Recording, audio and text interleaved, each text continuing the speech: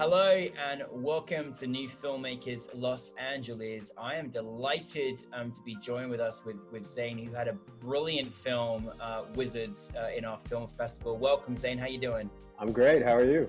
It's all good. It's all good. Thank you for bringing us your film. And for those that haven't seen Wizards, let's take a look at a clip.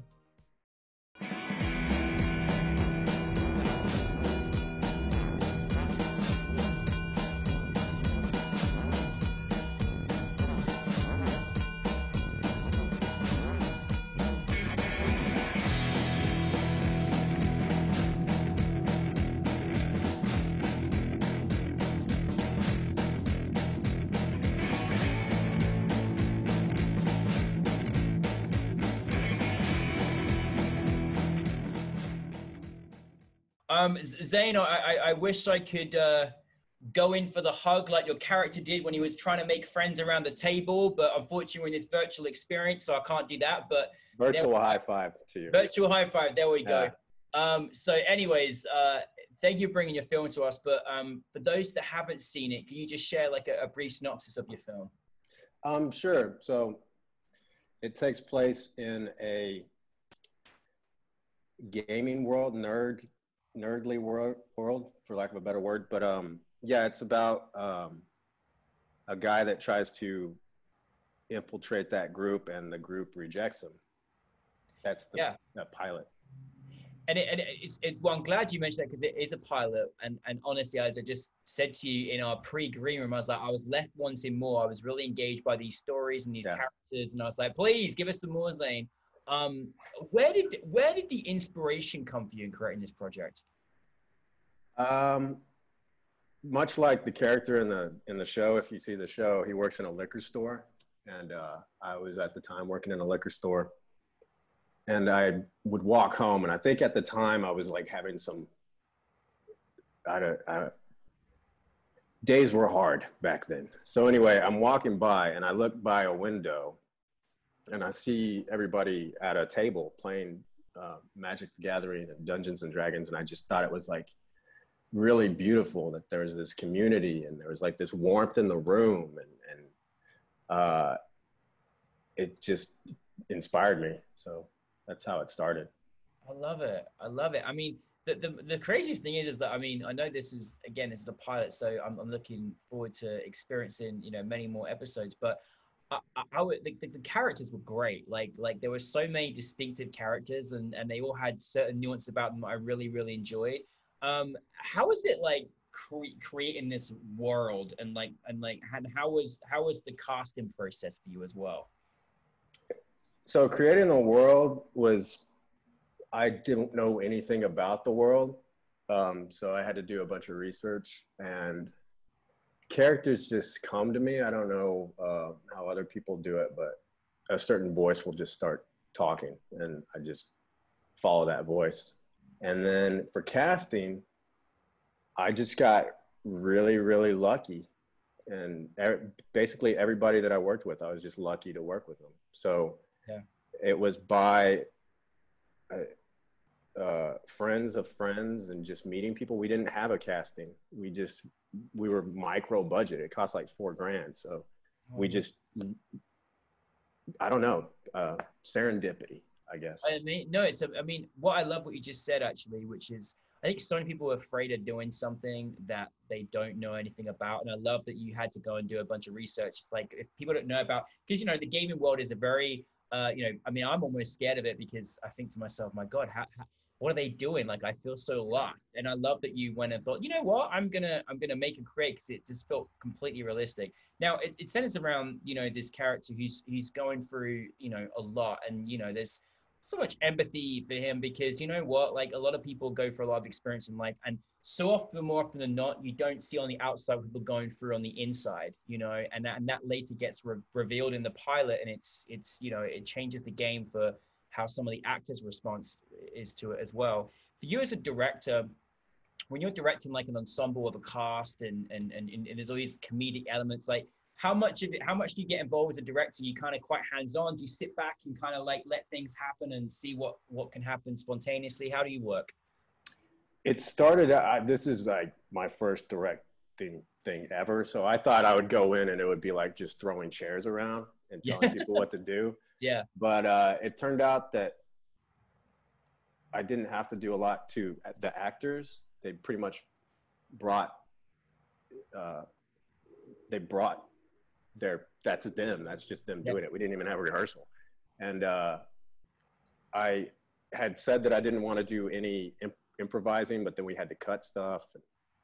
We only so it became this thing where uh, all of a sudden they're improvising, you know, and you're just like, but then it turns out to be good. So I, my my process, my parents are coaches, and so for me, directing was, uh, I'm I hate sports metaphors, but you're basically a coach. Everybody else is playing the game, and you just you set up the plays, you prepare as much as possible, and then you go out and they execute.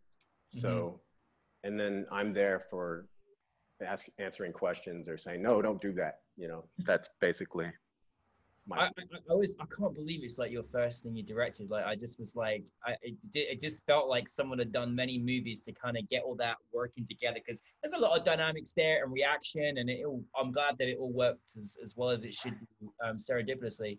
Um, what I was gonna say as well when you're when you're making and creating for experience as a director, you had a few locational setups. Like how how was that experience? Like I always people are creating an experience in a bar. Like there's always a lot of elements when you're thinking about that. How was the kind of location experience for you and, and, and the whole kind of production itself? Well, I wrote it to scale, so all the locations except for a hand, well, two, uh, didn't cost any money. So that's like my sister's garage. That's actually my apartment. oh, So you're welcome, but welcome to my home. But anyway, um, we I meticulously plotted it all out in my head. I drew storyboards and I did all this stuff because, again, it goes speaks to the preparedness. We don't have we didn't have a lot of money. We didn't have a lot of time, Mhm. and there weren't rehearsals. So I knew I had everything lined up. Again, we had to cut some stuff and um, cameras had to be moved.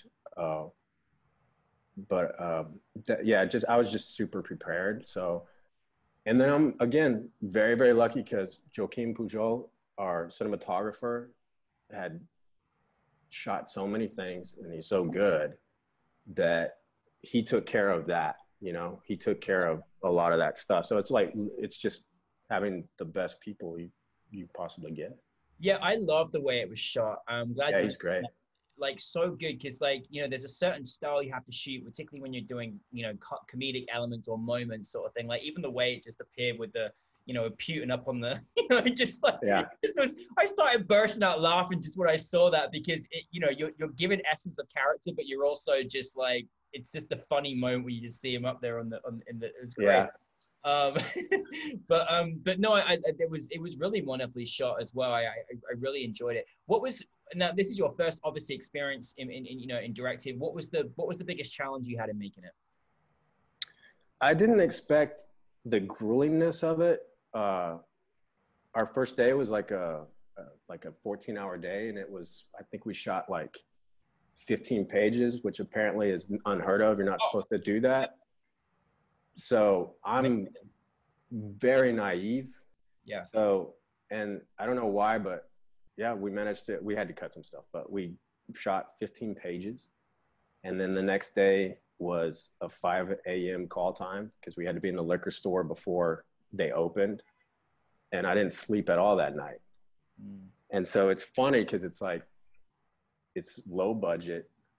Uh, we're arguing over where to place the we, nobody argued, but we're moving the camera and doing these blocking scenes over you know a dick joke, you know basically, Yeah. and you're you're so stressed out, but it's uh, the stakes. It just didn't seem to match what we were doing, you know, to be this stressed out about it. So I didn't expect that. I didn't expect uh, to be stressed out, but it was lovely. It was a lovely experience. Um, um i, I mean what I, I don't know whether you thought about this when you were you know putting the film together and writing it but like i'm just uh, you know I, there I, I couldn't help but thinking like you know you, you you've met people that have gone through you know experiences whether you're the outside person looking in to a group of friends or whether you're going for a thing in life is there kind of a certain thing that you want your kind of audience to sort of take from your film as well as being entertained? Like i don't know it just kind of made me feel like it's nice to see a bit of humanity just just following with just hey just you know just be nice you know kind of thing. Exactly. Yeah i mean that that you hit the, the nail on the hammer or uh i think i flipped that. But anyway uh yeah. it was it, i liked the character ronnie the coming in being you know a kind of a stock book uh, character of like uh, the the bro or whatever. And then you see that he's suffering something. And then i like flipping your your uh, the audience's expectations basically. Yeah. and for me because i said this yesterday in the q&a and it sounded good there so i'm going to say it here. Uh, for me the reason why i felt so comfortable writing about something that i don't I don't live in that world was because it was just a it was a metaphor. So like if you watch horror films, uh, our fear of Godzilla or Godzilla is a monster, but it's a metaphor for our fear of the nuclear holocaust.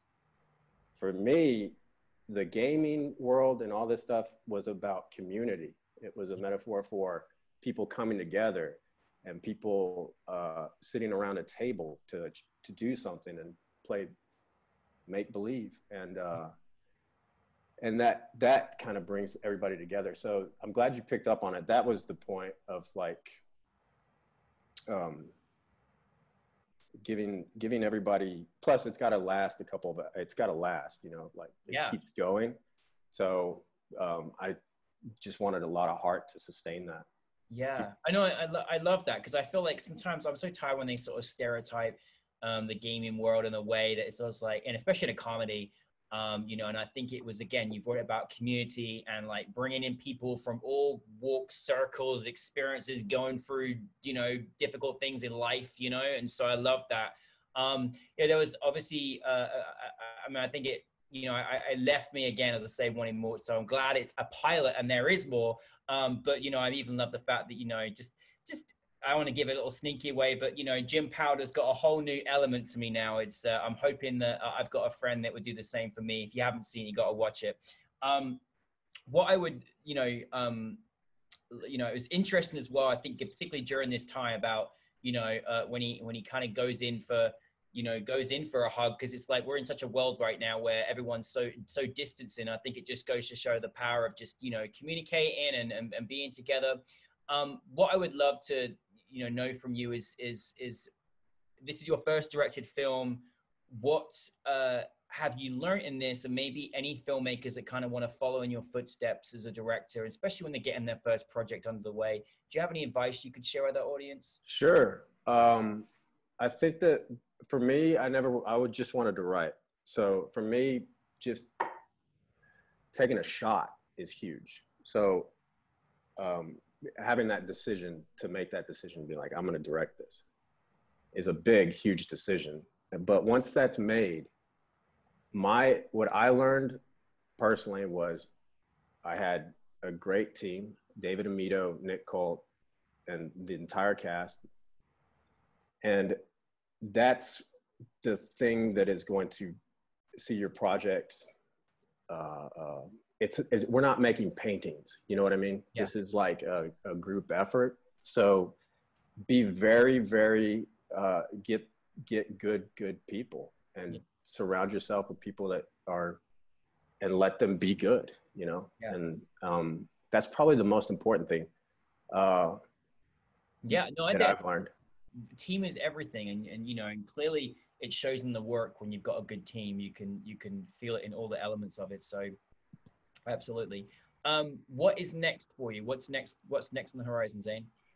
Uh, well, I have a deep bench of material now. So, uh, writing, I now I have the Jones to direct again. So, um, I was actually going to call these guys that I worked with and try to figure out our next thing. What because out of picking what I have, but lately I've just been writing every day. So. Oh, fantastic! Well, fantastic. I'm glad you've been using quarantine to your advantage and just taking some yeah. good writing time as well. Listen, I honestly, I, I love the world that you took us into with Wizards. I, I, you know, it was left me, as I said, wanting more. So please just keep making more movies for us. And um, Thank you. where can people find the next episode? Is there a place we can see it yet, or is it going to be soon released? I or- think I had the second. Uh, I think I p- placed the. God, I'm having a hard time talking. Uh, uh, the second episode, like in script form, but we haven't shot it. So, Okay. um, if anybody wants to uh, see the next one, uh, yeah, give me some money. we'll yeah, there it. you go. Oh, I like. Yeah. See, that's how every interview should end. Is get yeah. You can see the Yeah. next one if you pay for it. There you go.